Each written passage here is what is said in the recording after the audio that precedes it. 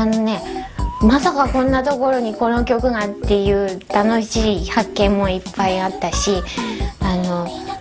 いやこういうとこに当ててほしかったんだよねっていうのもいっぱいあったしこれはちょっとここに当てたらダサいんでねえのっていうのがね一個もなかったです。だから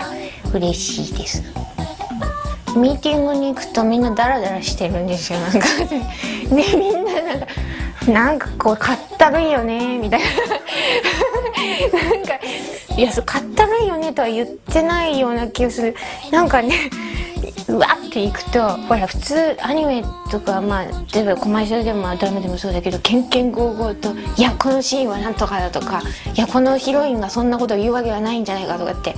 そういう印象があるじゃないですか。でもここんちは行くとなんかなんかさこうなんかこうなんかダラーみたいな。でそれその気分っていうのがアニメにもとっても出てると思うんですけど。